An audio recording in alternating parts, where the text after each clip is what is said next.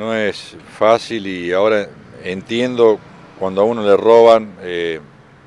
mayormente cuando por ahí hay gente eh, adentro y te entran a robar, realmente es lamentable.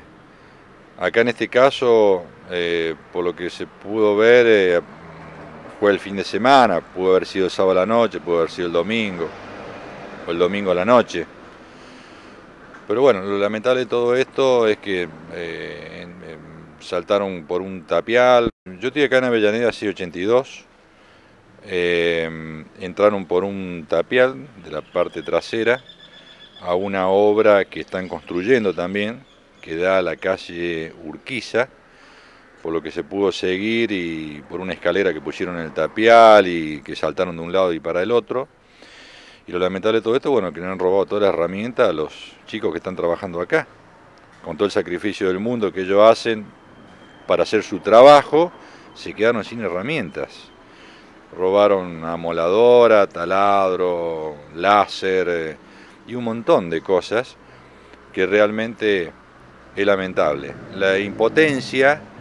es de que, bueno, haciendo averiguaciones, eh, hay algunos indicios, ¿no es cierto?,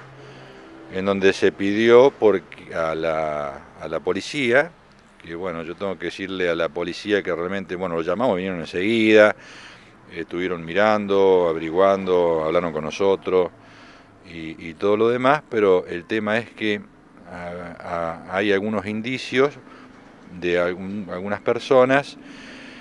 que han producido estos hechos acá en el barrio, porque yo me entero a través de todo esto, averiguando y hablando de que, bueno, le robaron acá cuatro casas, robaron en la calle acá Jujuy, robaron la calle eh, Urquiza y en estos lugares, en esta manzana, ¿no es cierto?, donde aparentemente habría alguien de que se dedica a eso.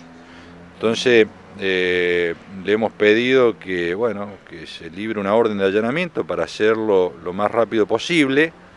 al tema y bueno, y eso no fue así, lamentablemente,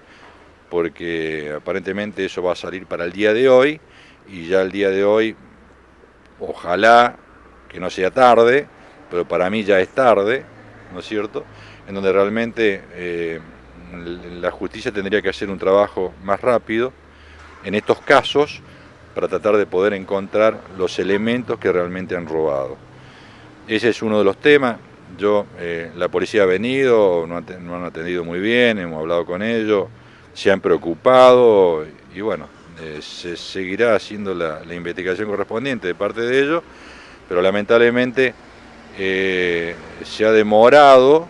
la, justicia para que en estos casos sea rápido para que las cosas no desaparezcan. Horacio, más allá bueno, de que hiciste la denuncia y todo, eh, ustedes, los albañiles y la gente que estaba trabajando acá, salir a comprar material para trabajar y lo que le han robado todo. Tienen que comprar todo, porque lamentablemente ayer eh, aquí no se pudo trabajar, nadie trabajó porque no, se quedaron sin herramientas y realmente eso te da una impotencia, eh, es una cosa que realmente que le toca solamente sabe